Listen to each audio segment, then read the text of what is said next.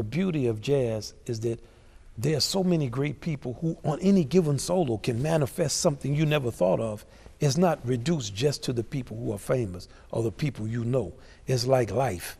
In any day or in any moment, a person can lift you up and show you another way to view the world. Wynton Marsalis, welcome to 7.30. Thank you so much. Maybe more than any other form of music, improvisation in jazz requires music musicians to keenly listen to what others around them are doing. But it strikes me that one thing that makes you quite unique is the way you recognised really early on the extraordinary position you were in when you were young to listen to what the greats had to tell you. yes. Yeah, I was fortunate to grow up with a father that's a jazz musician. In a time that musicians would travel around the country as singles, and I was always with my father, and I was, uh, even though I didn't necessarily like the music they were playing, I always liked to hear the stories they were telling. So Clark Terry played with Count Basie and with Duke Ellington's orchestra. Sweets Edison played with the great Count Basie orchestra that uh, left Kansas City in the 30s, and Sonny Stitt, and so on and so forth. The list goes on and on. I was always around them, and uh, they're very colorful. Why didn't you like the music? The music is complicated, and there's a lot going on, and it wasn't something you heard on the radio. I, I like the music everybody of my generation liked, and time what we played, the dances, and what we sang, and the song. The music had words. Their music was no words, so it was it was challenging to listen to.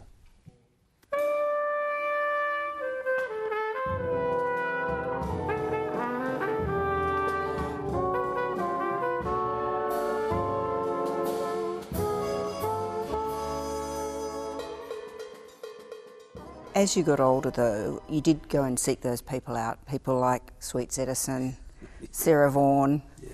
uh, Aretha Franklin. Why did you go and find them? Well, first, they the, just the, the knowledge they, they had, and they were very colorful and funny. And I had the opportunity to play with them. And sometimes it just uh, for, for, for older musicians to talk to a younger musician who's interested in what they're saying um, is uh, they, they, they love doing that. And many great lessons, like Sarah Vaughan really could play piano, like a virtuosic level.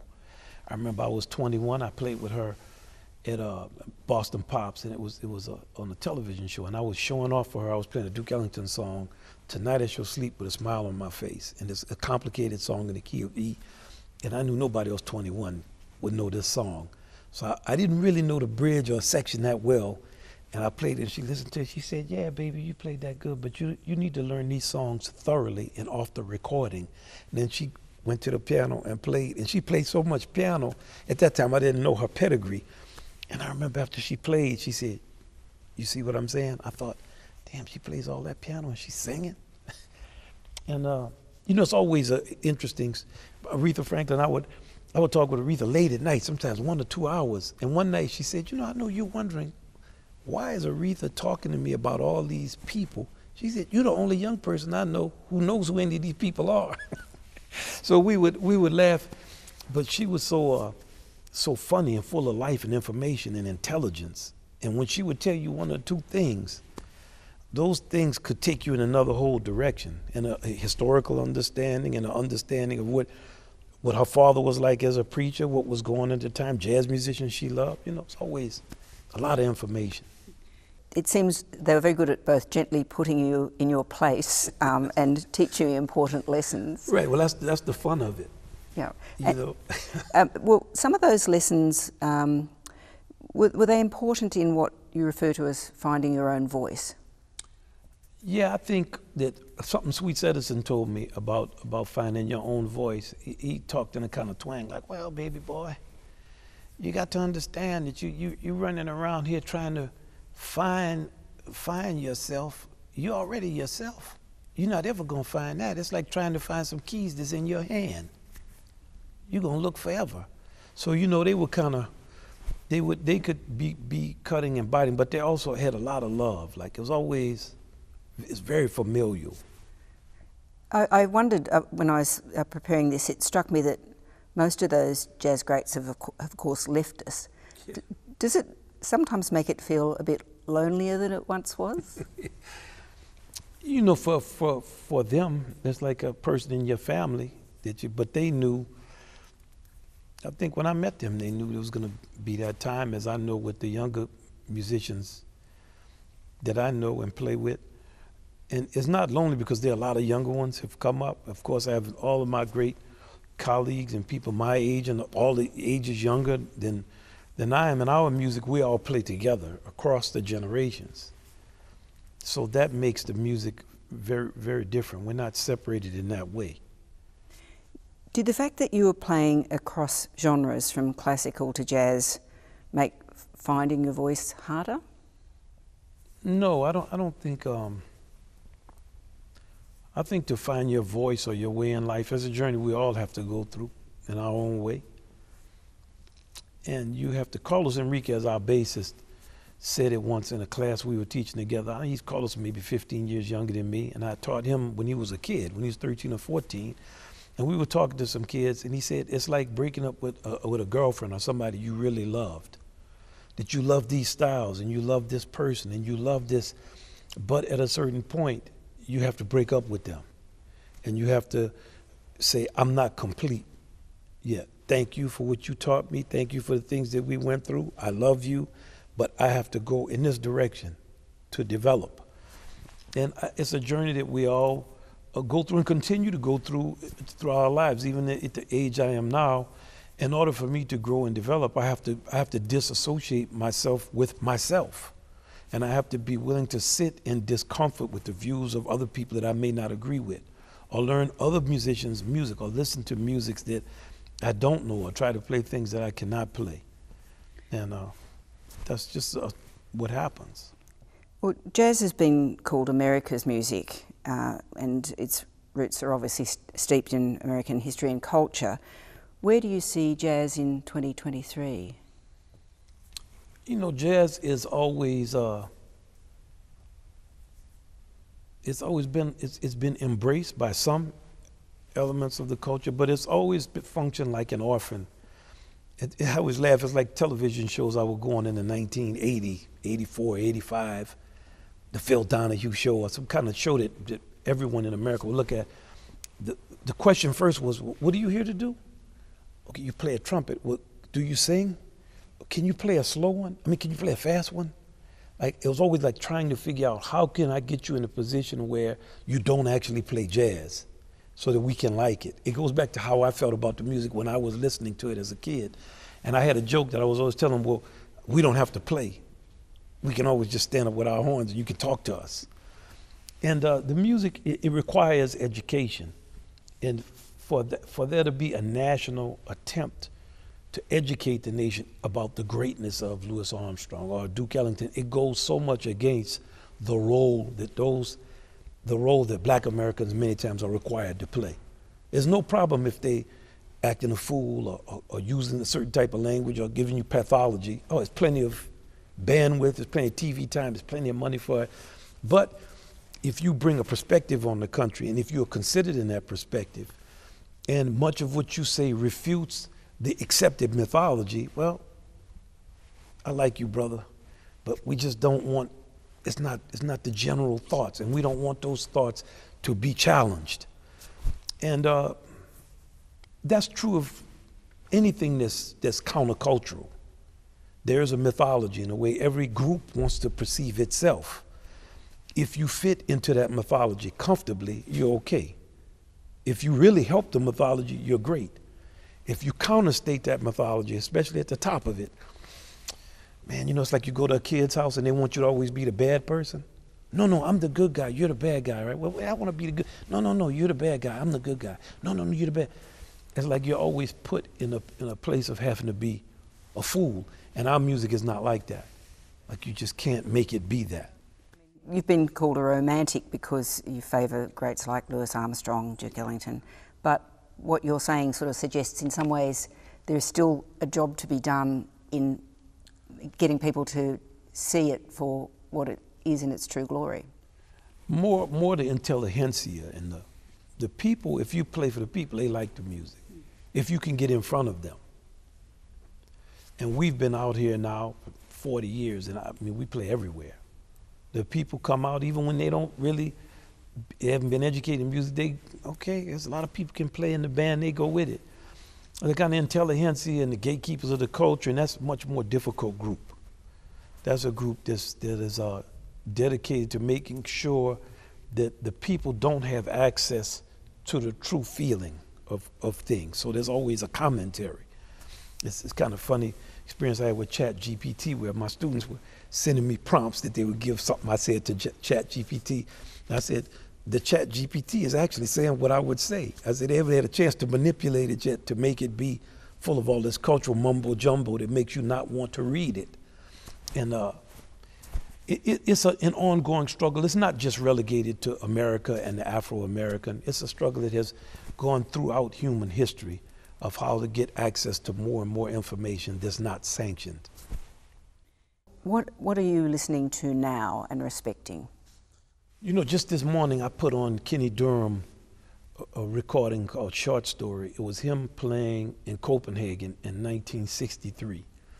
And I was just listening to him. I was, I was thinking about how I wanted to listen to more music. So I was listening to him uh, play fantastic. Neil, Neil Hennings, Orsted Pedersen on the bass, and Tete a European rhythm section, really swinging. Um, and, and I just listened to that to that whole record.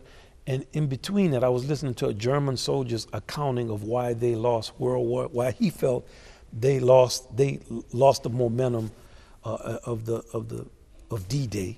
It was very interesting, and I go between that and uh, m- many other styles of music and, and things that are, are, are related about. Uh, I, am so happy that it just was a time when you had to go to libraries, you had to research everything. Now you can get everything. So I like to just go from thing to thing and compare different types of information, and the music is one one type of it. Is there one particular album that stands out, Blue Note or anything from the period that period of the jazz greats that you gravitate to repeatedly, st- still listening with fresh ears? You know, not now, not, not not so much. Like once I could, what I what I had to do as I grew older was listen to music of all the decades. Like it was a time when I would never listen to something from 1920s or so that's kind of the first really good recorded decade. And I, and I don't mean listen to like recordings of classical music from the 1500s or the 1600s, 1700s. Okay, that was always that's a part of school. So if you if you learn the history of Western music, that's the music you're learning. It was hard for me to listen to Basie's orchestra in the 30s or Duke's music from the 30s. It's record is scratchy and what are the objectives of the music?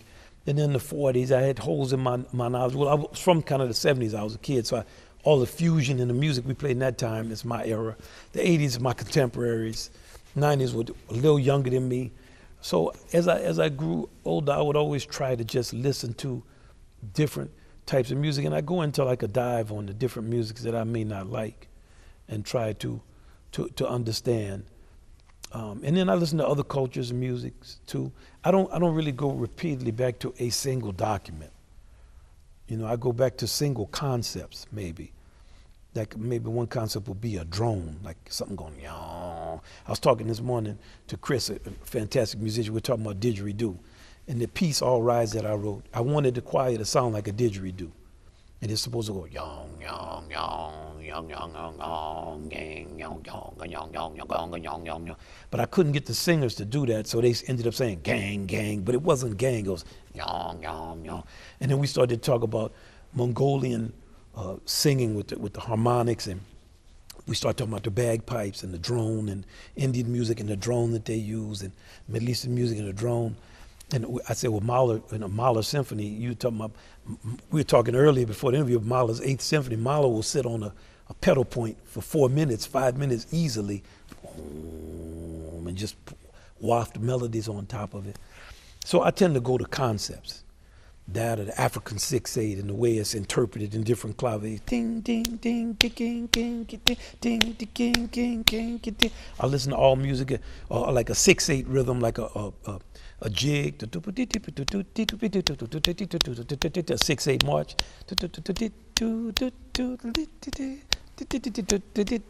Italian music, African six eight ding ding ding ding ding ding. I try I try to just listen to different styles and figure out how those fundamentals played out across the world. You know, and, and it's, it's I, I, go more toward that than I go towards a record I heard when I was younger. Even though I still like those those those recordings. Well, you've written a vast body of work uh, in your own right, and you'll be playing some of the symphonic works while you're here in Australia. What is it about that intersection that feels so great to play? And what is jazz about an orchestra? And what is symphonic about a big band? That's a great question. I got to give you credit for that one. well, you touched on the whole of uh, of of like so much stuff is gray area, right? It's like male and female. Okay, but there's a lot of gray area, and um, and there's a lot of not gray area.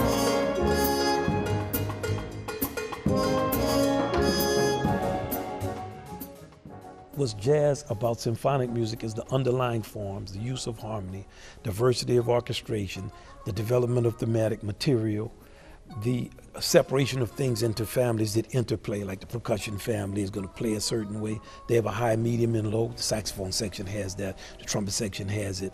The trombones and the brass section. The use of brass for punctuation and power, jazz bands use that.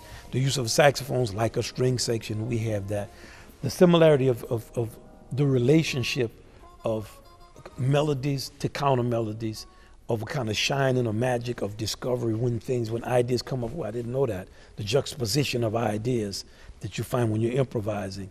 That's, that's the thing that's jazz about symphonic music. And what's symphonic about jazz is the orchestration of the instruments. The fundamental march concept of trombones play long notes, trumpets play medium notes, clarinets play fast notes. Uh, that's the basis of Duke Ellington's style and certainly of jazz composition. The use of saxophones in a, in a homogeneous body, like a string section. The uh, call and response nature. Beethoven's third is call and response. Haydn's music, call and response. Also, in New Orleans music, it's like Baroque music. Not so much call and response, but boom, boom, boom, boom, boom, a thing that's always bouncing on every beat. There's been so many um, similarities between Bach's Brandenburg concertos and King Oliver's early music because everybody's playing polyphonically, eighth, 16th notes and eighth notes at the same time in the same time field. And of course, I could go on and on and on. There are many similarities. There's a joint history, a Western history. And even in symphonic music, there's an African history that's not as acknowledged. But even in Schoenberg's music, there's an attempt to deal with a kind of Africanization of rhythm because he was looking at what Picasso and the other early 20th century artists were doing with African art and thinking, man, how can I in music use what these people are doing in their rhythms and the things that they're using to enhance my music? The African music is much more difficult for Western musicians to understand because they play in two polarities at once. So we we're not going to play in 3 4 and 4 4 at the same time.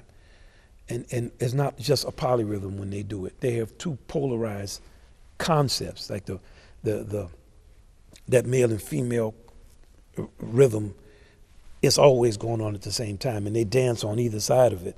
Very difficult for us to, to hear. And, you know, you get me going on that stuff. It's very tech, some of it is technical, so it's not something people are interested in, in hearing. But suffice it to say that music from all over the world is connected. And, and it, it, it is. It's just a matter of figuring out where those intersection points that you can understand. You're a committed musical educator. What, what's the thing that you can pass on? I mean, you know, we can all teach notes, but what's the thing that you can really teach people or get bring out of themselves? Um, a, a love for themselves, and their ability and a love for the thing that you're teaching them and the feeling that goes between y'all. Like that's that's the thing you you want to communicate.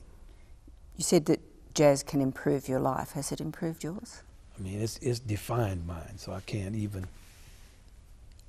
I mean, if you could actually hear the music and understand what the great musicians like, uh, you take your pick and you know it could it could be of the ones I've known. They they were all dipped in rainbow dust. Like if you could have known John Lewis or Sweets Edison or Gerry Mulligan or, or Dave Brubeck, if you could have known them and what their aspirations were for the world. And it's also reflected in the younger musicians we have now. And I could talk about them. No, nobody knows their names, but there's Sean Mason and Joe Block. And if you know them as, as even as younger people and the spirit they have and the feeling that comes out of them, and, and Chris Lewis and Nicole Glover, and, you know, they just, it's something in the music. It, it's, it's, a, it's a thing, that's, this palpable, but it's also very etheric, it's very ephemeral. It's a fantastic quality. Finally, world's most unfair question. Who are the three greatest jazz musicians of all time? you know, there's, there's no. The music is so much about a lot of people doing things. It's about people doing things together. That's the, the actual. It is reduced. It's put into the Western construct of a great person, but that's not the meaning of the music. And I think the blessing I've had in my life is to start playing with four people and then play with five and then six and then 15 and sometimes 200. And uh, coming from a big family, I remember once we had a period where we didn't have the food we were eating. It was like beans, and you know, it was always stuff that people who don't have a lot eat that. So once we were eating something, and I was complaining to my older brother Branford about, you know, I, I want more. And he took something off of his plate and put it on mine. And he said, Now we have more. we were kids, and we both laughed about it. But, you know, in jazz, jazz allowed for many more great people. Because if you could learn how to play an instrument, you could be documented and your, your brilliance could. I was thinking this morning when I was listening to that Kenny Dorham record, Tete Montoliu's piano playing. And I, I didn't know who it was. I played with Tete and I knew him, you know, he's from Spain. And I thought, damn, who was playing all this piano? And then when I realized it was Tete, I thought the beauty of jazz is that there are so many great people who, on any given solo, can manifest something you never thought of. It's not reduced just to the people who are famous or the people you know. It's like life.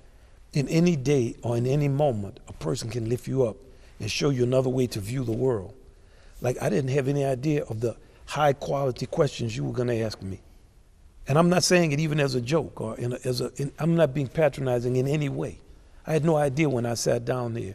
Maybe three or four of those questions, I've been being asked questions since I was 18. I'm 61. Three or four of your questions are the best questions I've ever been asked. And I interviewed people for, for CBS 60 Minutes and for other articles. I was struggling. What can I ask people? And I asked so many dumb questions to people. and I'm listening to your questions. I'm thinking, damn, these are some good questions.